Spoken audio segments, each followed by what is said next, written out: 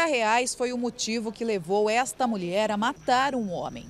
Para a polícia, ela confessou o crime. Eu te dou facada, você sorte, que eu não te matei. O homicídio aconteceu no setor Cândida de Moraes, em Goiânia.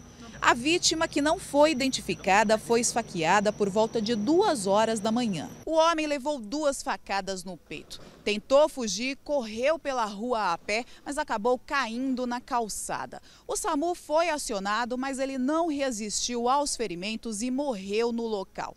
A mulher ainda feriu uma outra jovem com uma facada na altura do ombro. Anne França da Silva, de 42 anos, foi presa em flagrante. Visivelmente embriagada, mesmo depois de matar o homem, ela continuou bebendo com amigos. A faca usada no crime ainda estava com ela, que resistiu à prisão e agrediu os policiais. Com a unha, né? Ela, e ela, posteriormente, é, através de, um, de uma busca com os nossos policiais, detectamos que a faca estava nas partes íntimas delas e constatando ser possivelmente a arma utilizada no crime. A jovem, que também foi agredida por Anne, teve ferimentos leves e foi encaminhada ao hospital.